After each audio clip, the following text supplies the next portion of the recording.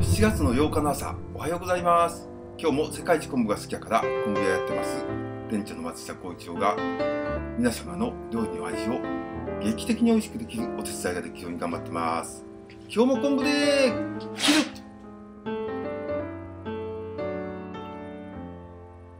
この時期本当に毎日暑いですエアコンが僕の友達。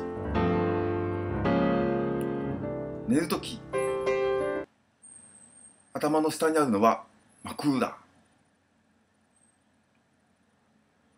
こういう毎日の動画でボツになるネタがあります。それはおクーラー入り。そんなことはどうでもいいのですが今日も頑張ってまいります。出産打ち祝いのご注文多数。出産打ち祝いはお任せください。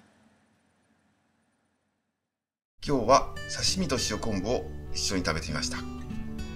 もっと細かく刻んでお寿司と一緒に出しているお寿司屋さんもあります。マグロと塩昆布。マグロの力強さとよく合います。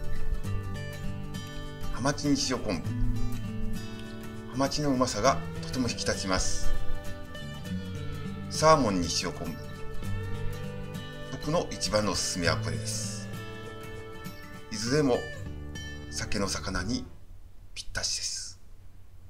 コーディンの独り言園長まっちゃん出張よく行くけどなんか美味しいものばっかりあるとこばっかり行ってるような気がする。それに合わせて出張先